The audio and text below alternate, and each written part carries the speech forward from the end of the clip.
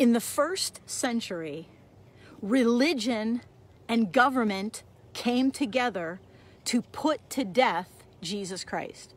That's right, the ruling Jewish authorities collaborated with the Roman government officials and they crucified Jesus Christ. In the last days, the Bible tells us that religion and government will come together again for evil purposes. You see, there is corruption in spirituality or religion without Jesus, just as there is corruption in government and politics.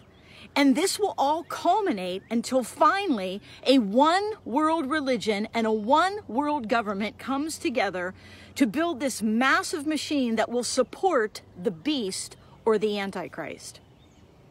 The Bible speaks to all these things. So instead of sitting around being angry, being fearful, whatever it is that you're struggling with, I am urging you to tune in this Sunday morning, May 10th, 10 a.m.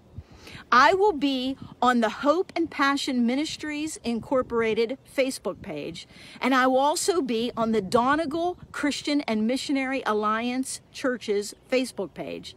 And I will be live streaming a message called Politics, Religion, and the Road to the Antichrist. We need to know what God says about what is happening right now.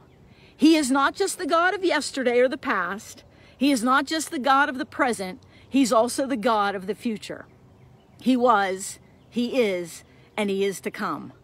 And you need to be equipped to understand what is happening around you so that you know how to pray, so that you know how to act, so that you know how to speak about Jesus in our world today. Sunday morning, 10 a.m. Join me, Shelli Prindle, on Facebook live stream, Hope and Passion Ministries. Thank you, and I pray that I'll see you there.